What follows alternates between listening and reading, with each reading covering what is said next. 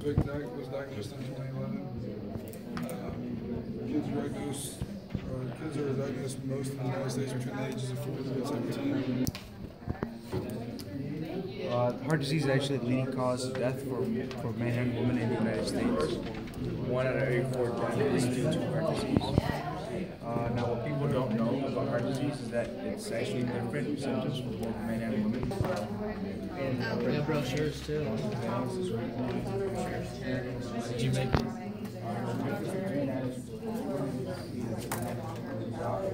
PTSD, post-traumatic treatment, autism, obviously and like chemo and schizophrenia. radiation, stem um, cell, It um, specific different signs and symptoms, like symptoms, hallucinations, versions, and there's actually symptoms you don't know, and then that's how you can treat it. Like, there's catatonic schizophrenia, and there's different kinds, but one in ten people, young people experience a period of major depression in their life.